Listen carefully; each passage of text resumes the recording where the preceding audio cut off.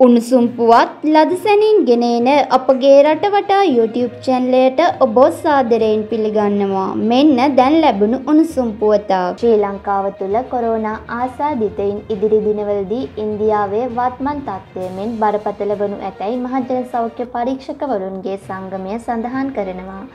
සංගමේ සභාපති උපුරෝහණ මහතා පෙන්වා දෙන්නේ දැන්ටමත් කොළඹ යාපනය ශ්‍රීකුණාමලය පුත්තලම දිස්ත්‍රික්ක තුළ දැඩි අවධානමක් පවතින බවය.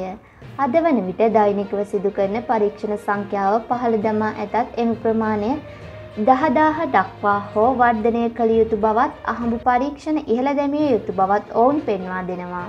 ගත වූ අලුත් අවුරුදු සමයේ මහජන හැසිරීම සෞඛ්‍ය ආරක්ෂිත ක්‍රමවේද නොසලකමින් සිදු වූ නිසා කොරෝනා ඉහළ ව්‍යාප්තියක් ඉදිරි දිනවලදී බලාපොරොත්තු විය හැකි බවද ඔහු පවසනවා. මේ අතර හමුදාපති ශවේන්ද්‍ර සිල්ලා මහතා සඳහන් කරන්නේ ඉදිරි මාසවල මුඛ ආවරණ පැළඳීම අනිවාර්යයෙන්ම සිදු කළ යුතු බවය. මුඛ ආවරණ නොමැතිව නිවසෙන් පිටතට නොවන ලෙසද ඔහු ජනතාවගෙන් ඉල්ලා සිටිනවා.